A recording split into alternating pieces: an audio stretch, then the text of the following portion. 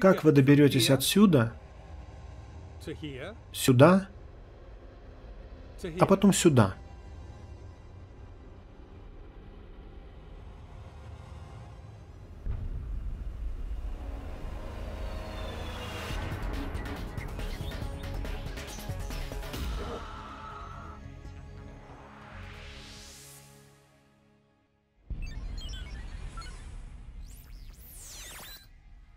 Это Хабблкаст. Новости и изображения от космического телескопа Хаббл агентств НАСА ИСА.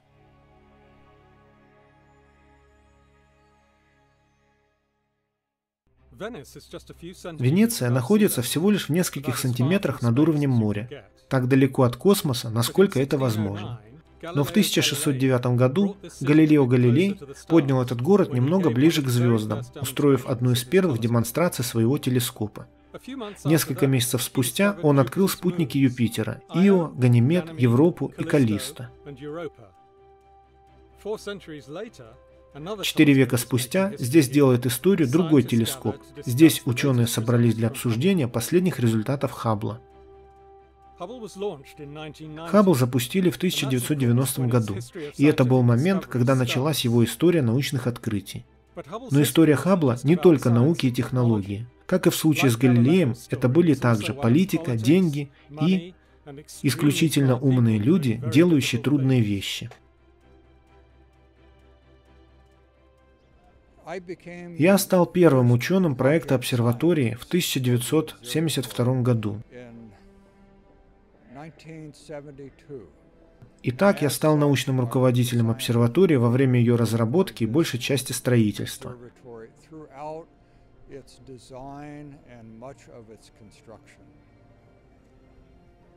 В эти ранние дни трудные решения были обычным делом, потому что часто нашу программу закрывали, а потом снова открывали.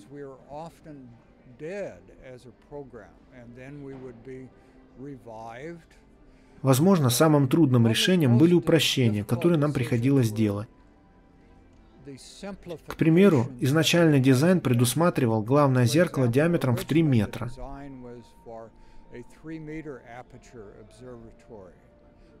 Но с целью экономии денег нам пришлось уменьшить его до 2,4 метра.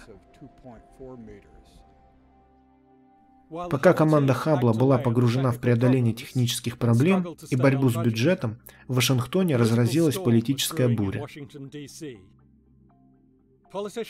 Политики забили тревогу по поводу увеличивающихся расходов и приказали НАСА искать международного партнера. Поэтому даже на самой ранней стадии сотрудничество с Европой оказалось совершенно критично даже для простого начала проекта космического телескопа Хаббла. В Конгрессе США были очень большие споры о том, стоит ли вообще финансировать эту программу. Поддержка Конгресса увеличилась во много раз, когда речь пошла о международном сотрудничестве и помощи извне, из Европы.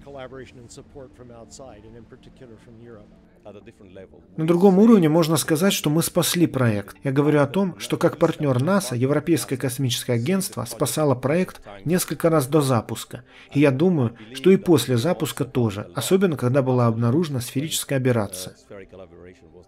Когда это стал международный проект, то политикам, которые хотели убить его в Штатах, стало сделать это гораздо труднее.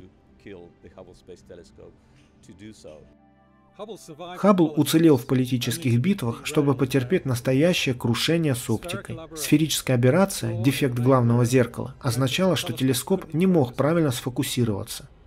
Там, где изображения должны были быть резкими, астрономы сражались за то, чтобы получить хоть какие-то детали. Те дни, когда мы обнаружили сферическую аберрацию, были самыми волнительными и депрессивными днями моей научной карьеры. Большую часть двух недель мы никак не могли понять, почему телескоп не дает качества. И это стало научной проблемой, которую надо было решать ученым. Но большая ирония заключалась в том, что в процессе решения этой проблемы мы вдруг выкопали огромную, монументальную катастрофу.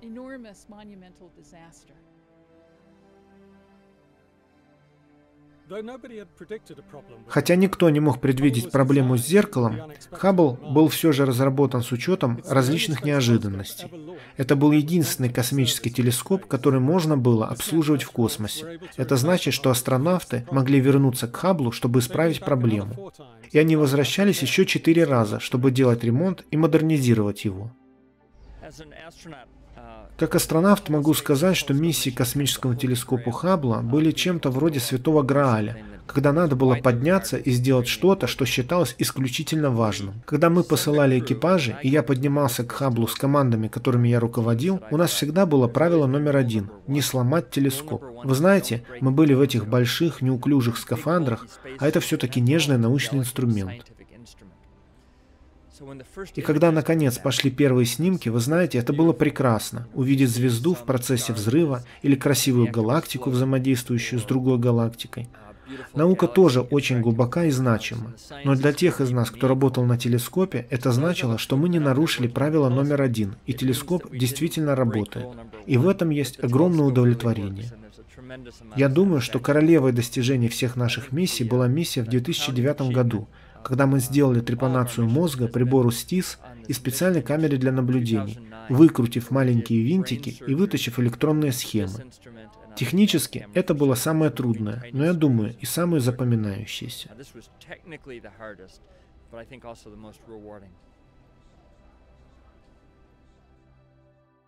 Рискованные, трудные и волнующие, эти миссии по ремонту Хаббла были также поводом грызть ногти и для команд на Земле.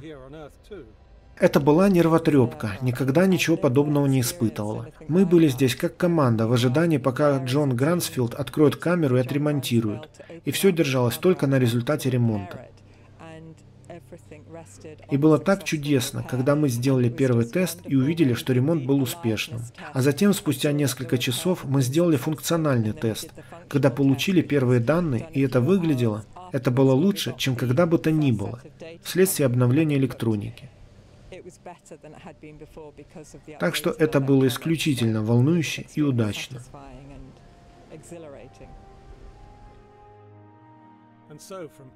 И поэтому от планирования к запуску, к ремонтам, история Хаббла была качелями вверх-вниз. После последней миссии обслуживания у Хаббла есть еще много лет, а ученые уже готовятся к тому, что будет за ним –